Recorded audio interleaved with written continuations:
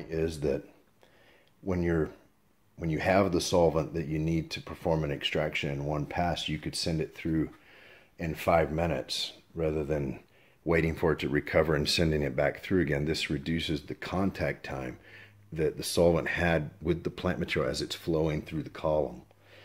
That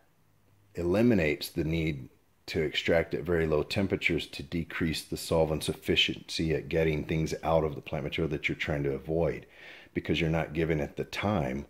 you don't have to reduce the temperature as well. And so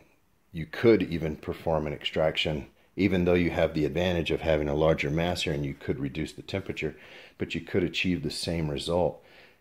as the guys that are chilling their columns because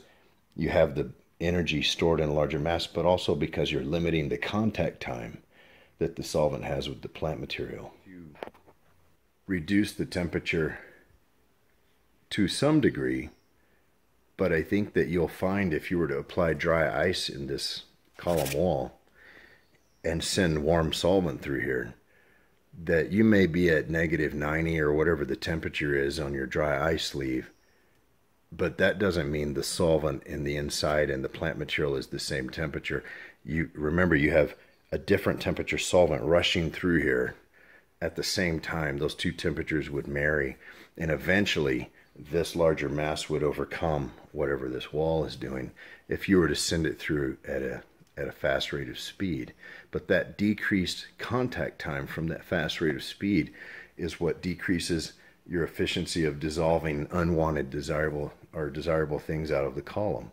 Um, the temperature has an effect on it as well, but limiting the contact time does as well. So if you're going to choose a, a labor intensive, expensive process like reducing temperature or a faster, higher production process like decreasing contact time, it's more practical and obvious to choose the lower product, um, the lower contact time over a lower temperature drop to achieve the same result.